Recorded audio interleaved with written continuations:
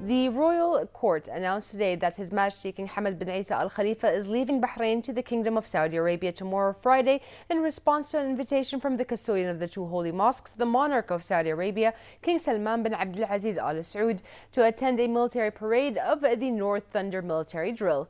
The exercise is the largest in the region with the preparations of 20 Arab and Islamic countries in addition to the Peninsula Shield Forces which is being held at King Khalid Military City at Hafr al-Batin in the northern region of Saudi Arabia. His Royal Highness the Prime Minister Prince Khalifa bin Salman Al Khalifa issued today Edict number 10 and 11 for the year 2016, issuing the executive regulation of the real estate registration law and the restructuring of the Board of Directors of Bahrain Tourism and Exhibitions Authority BTEA. Edict 10 stipulates that the executive regulation of Decree Law 15 from 1979 promulgates uh, by the Justice and Islamic Affairs Ministers Edict 6 of 19 1980, the executive regulation of the same uh, decree law on the survey affairs promulgates uh, by Survey and Land Registration Bureau SLRB Chairman's Edict 36 of 2012 and all extraordinary or extraordinary texts to the provisions of executive by law of the real estate registration promulgated by law 13 2013 are cancelled. The SLRB chairman shall implement the edict, which will take effect one day after its publication in the official gazette. Edict 11 stipulates that the BTEA board of directors will be chaired by the Minister of Industry, Trade and Tourism, in addition to the membership of the Economic Development Board CEO, Gulf Air CEO, the chairman of the Tourism Sector Committee at the Bahrain Chamber of Industry and Commerce, the chairman of the Exhibitions Committee at the Bahrain Chamber of Industry and Commerce, representative of Mumtalakat Company, Mr. Mohammed Sharif Ahmadi, in addition to representatives of the private sector, Mr. Rashad Rida Faraj, Mr. Faisal Khalid Kanu, and Mrs. Hana Haji Hassan Al Ali. The members shall serve renewable four year terms. His Royal Highness uh, the Crown Prince, Deputy Supreme Commander and First Deputy Premier Prince Salman bin Hamad Al Khalifa today attended the final maneuver of the Operation North Thunder exercise at the King Khalid military city in Hafr al-Batin, Saudi Arabia. During the final exercise, which saw participation from 20 countries, His Royal Highness underscored Bahrain's firm commitment to long-term regional security under the leadership of His Majesty King Hamad. In this regard, His Royal Highness highlighted the importance of unity and solidarity among its allies in order to combat regional threats. His Royal Highness emphasized that the kingdom's participation in Operation North Thunder reflects Bahrain's commitment to ensuring lasting regional peace and stability. His Royal Highness went on to welcome the instrumental role Saudi Arabia has played under the leadership of the custodian of the two holy mosques, King Salman bin Abdulaziz Al Saud, in facilitating increased cooperation among its allies to effectively address regional security challenges. During the final maneuver, which was attended by the custodian of the two holy mosques alongside leaders from other participating countries, His Royal Highness praised the level of military capabilities that was demonstrated throughout the military exercise. The Crown Prince emphasized that the Bahrain Defense Forces' role in the military exercise demonstrates their discipline and commitment to national duty and is testament to the advanced level of military training they have received. His Royal Highness also stressed that the participation of Gulf Cooperation Council, the GCC countries, in addition to regional partners and allies, is a clear reflection of their commitment to lasting peace and the principles of justice and humanity.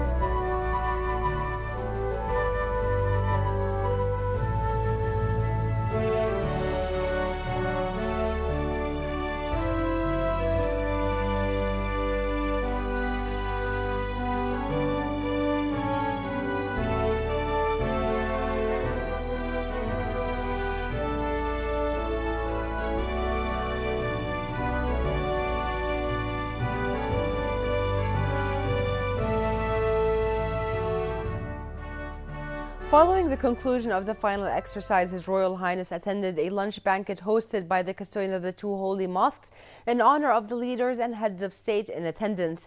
His Royal Highness expressed his gratitude and appreciation to the custodian of the two holy mosques for his warm reception and extended best wishes for further development and prosperity to the Kingdom of Saudi Arabia. His Royal Highness was accompanied at the final exercise by the BDF Commander-in-Chief Field Marshal Sheikh Khalifa bin Ahmed Al Khalifa.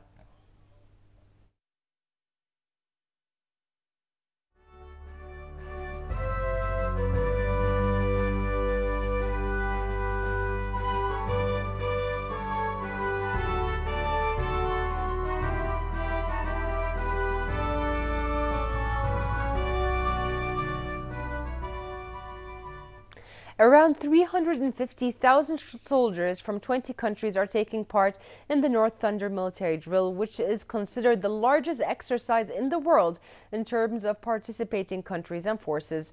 More in this report.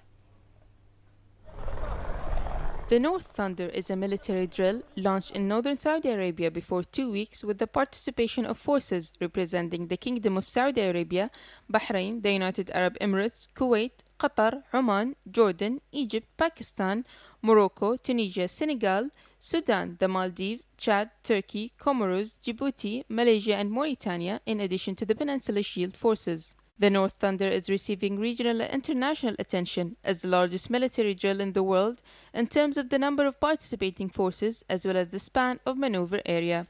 The drill is training troops on how to deal with terror groups and how to transfer from traditional to low intensity combat operations.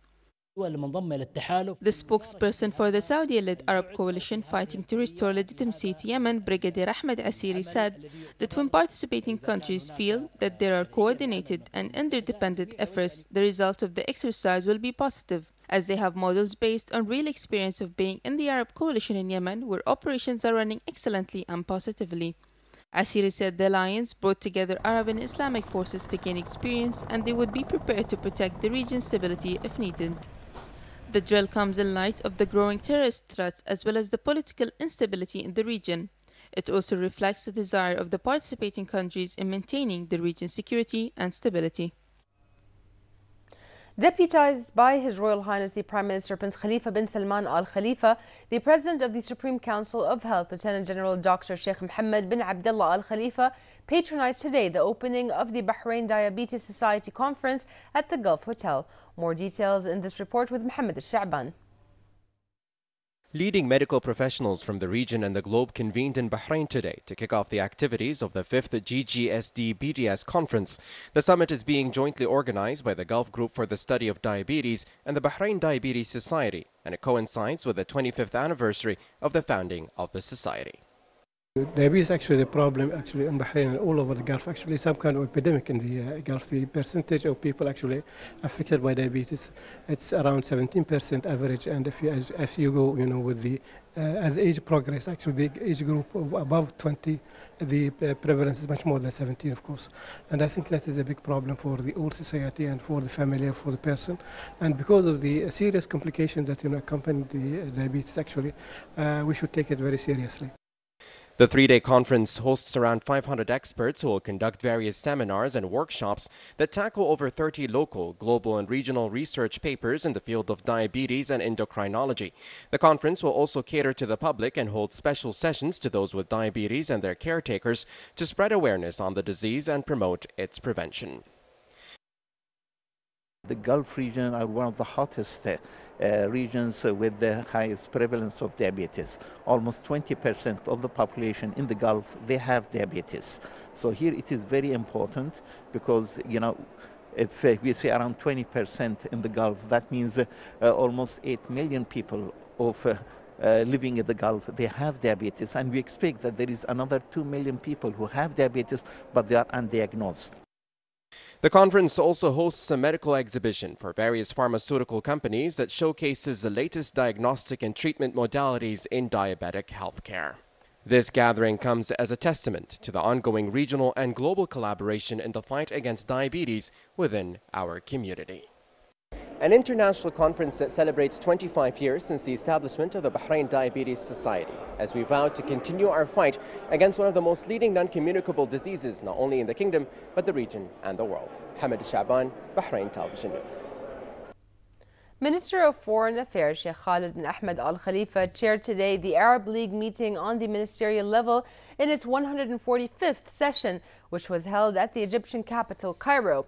The minister delivered a speech in which he expressed his thanks and appreciation to the UAE regarding chairing the Arab League ministerial meeting in its previous session and for its role in reaching decisions that would contribute in enhancing joint Arab action.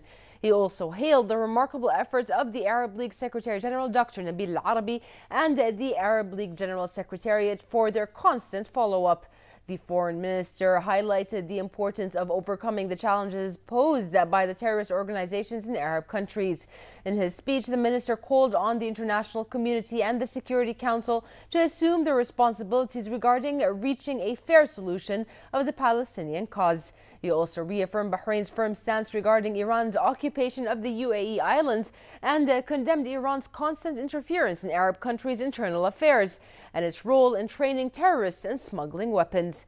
To the Syrian topic, the minister affirmed the importance of reaching a political solution in accordance with UN Security Council Resolution 2165 and 2254 and called on the major world powers to exert more efforts in order to reach an agreement on the Syrian crisis.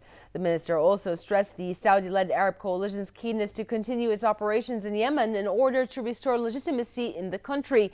He also highlighted the necessity of a political solution based on the GCC initiative and its work mechanisms. Sheikh Khalid bin Ahmed lauded the efforts exerted regarding enhancing the Iraqi and national partnership in order to overcome all threats posed by the ISIL terrorist group and the Hezbollah terrorist organization. He also expressed hope in reaching a solution of forming a national reconciliation government in Libya as to achieve the aims and aspirations of the Libyan people.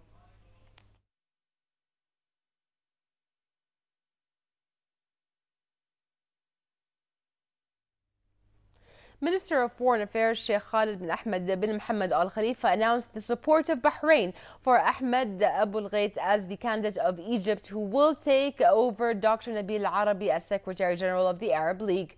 The minister noted that uh, this support was uh, conveyed in an official letter sent by His Majesty King Hamad bin Isa Al Khalifa to Egyptian President Abdel Fattah al Sisi. He said the letter affirmed Bahrain's full support for the candidates and readiness to cooperate with the new Secretary General of the Arab League to succeed his mission in promoting pan Arab action, strengthening its institutions and mechanisms, supporting Arab interests, and confronting the challenges and various threats facing the Arab countries and people.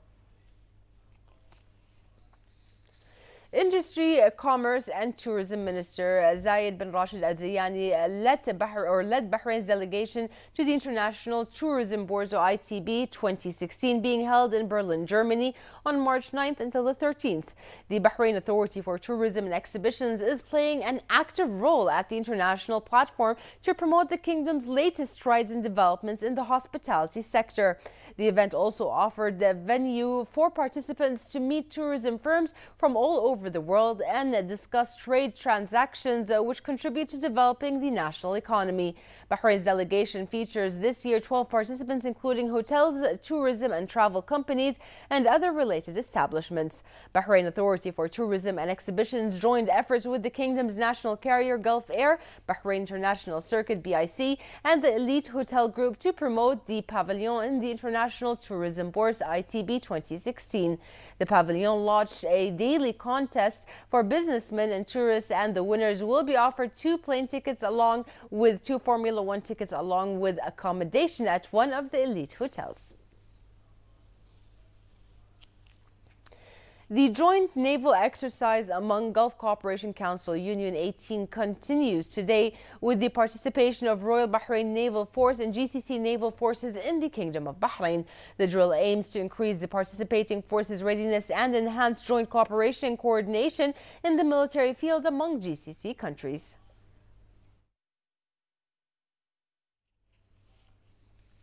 The public prosecution charged Kuwaiti national Abdul Hamid Abbas Hussein Dashti with involvement through coercion and assistance in illegal public fundraising in contravention of the Penal Code and the public fundraising regulatory law. The prosecution referred the case against the uh, suspect to a lower criminal court which on the 15th and 12th of 2015 issued an executable two-year jail sentence against him in absentia. In, a in compliance with the court verdict, the public prosecution addressed the judiciary authority in the state of Kuwait to take its actions regarding notification to the convicted Abdul Hamid Dashti about the court ruling. The prosecution is awaiting reply to confirm serving him notification about the court ruling. The public prosecution statement said once the verdict was publicized and time elapsed without the convict challenging the verdict, a final court ruling will be issued and the prosecution will accordingly take action to arrest the convict in compliance with the verdict which will be circulated internationally through the Interpol.